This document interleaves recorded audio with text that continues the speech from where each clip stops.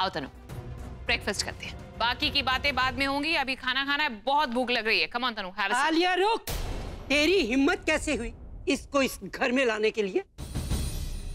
इसे अभी के अभी बाहर ले जा। बाहर ले जा वरना। वरना क्या? वरना मैं खुद इसको धक्के मार के घर से बाहर निकाल दूँगी। अरे तो जानती नहीं है इसने क्या कुछ किया हमारे घर में? हमारे घर में रहकर हमारे ही घर को बर्बाद किया अभी को धोखा दिया हम सबको धोखा दिया। धोखा तो मैंने भी आप सबको दिया है दादी। तो क्या आप मुझे भी घर से निकाल देंगी दादी? तुझे तो कभी का मैं घर से बाहर निकाल ही देती। पर तू जानती है ना किस हालात में और कैसे हालात में तू यहाँ रह रही है? क्योंकि अभी तेरे बारे में अभी कुछ नहीं जानता। तुझे इस घर में रखना मेरी मजबूरी है। पर इसे इसे इस घर में रखना मेरी कोई मजबूरी नहीं।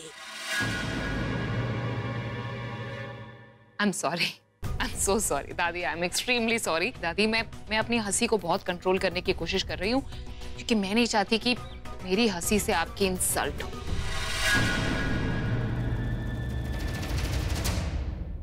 मेरी प्यारी दादी, कितनी इनोसेंट है ना कितनी इनोसेंट है। भूल जाती है कि ये ढाई सालों में जो कुछ हुआ है, भाई भूल गए हैं मुझे लेकर, लेकिन जो कुछ तनु ने किया है, वो भी भूल गए। तो मेरी प्यारी दादी, इतना गुस्सा अच्छा नहीं होता इस मैं यहाँ पर तनु को लेकर नहीं आई। भाई यहाँ पर तनु को लेकर आए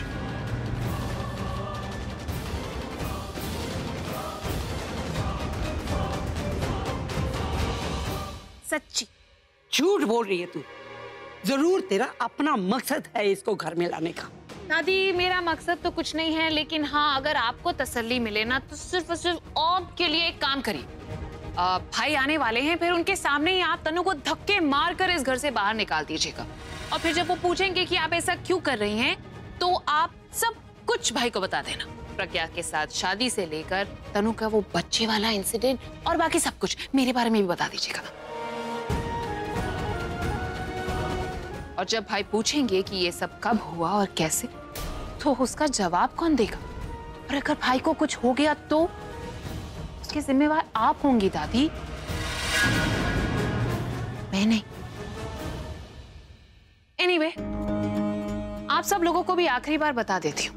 बेटर यही रहेगा कि पिछले ढाई साल में जो कुछ हुआ है आप लोग भी भूल ही जाएँ।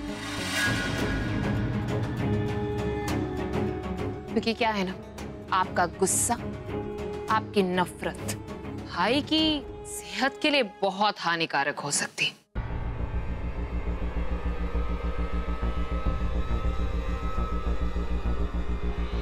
Now, if you'll all excuse me, it's time for my breakfast.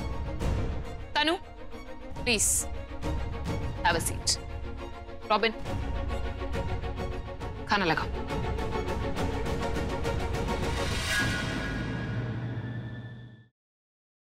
Siddharth? Listen me Yash joker है। सिद्धार्थ तुम तुम यहाँ कैसे आए मेरी बात सिद्धार्थ सुनो मेरी बात सुनो रोशनी। यश ही जोकर चलो। Listen to me damn it Yash is the joker मेरे पास वक्त नहीं है। सिद्धार्थ तुम क्या बोल रहे हो? यश मेरा बेस्ट फ्रेंड है सिद्धार्थ। वो मेरे बचपन का फ्रेंड है। हाउ कुड इट और तुम कोमा में थे ना? तो ये सब पास वक्त नहीं है। वो सब एक नाटक था। इसलिए क्योंकि मैं चाहता था कि जोकर मेरे पास है और अपनी सच्चाई मेरे सामने रिवील करे और वही हुआ। और Yash is the bloody joker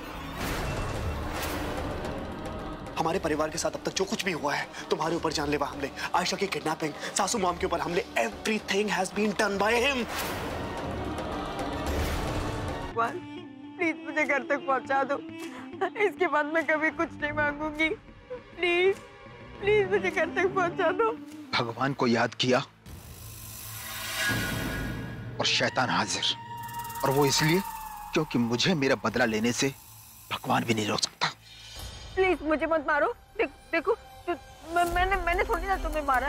तुम तुम्हें बदला ही लेना ना तो तुम निखिल से बदला लो उसी ने तुम्हें मारा। मैं, मैं, मुझे मार के तुम्हें क्या मिलेगा? मुझे मत मारो प्लीज़ नहीं नहीं खून खून के बदले कौन? पर माँ साहब हम सब तो इसी घर के हैं। तो फिर हम परी और सत्तू को अलग करना क्यों चाहेंगे? हो ना हो इन सब में इसी लड़की का हाथ है। झूठ जितना बड़ा हो सफ़ाई भी उतनी बड़ी हो जाती है छाया तुझे कोई परहेज है क्या इन दस्तानों को पहनने से?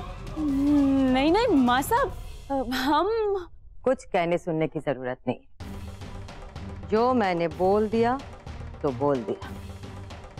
ये दस्ताने सबको पहन के दिखाने होंगे। नंदिता ही थी माँ जिसने मेरे पूरे परिवार को बर्बाद कर दिया। तो उसका अंत भी आपको निश्चित करना है।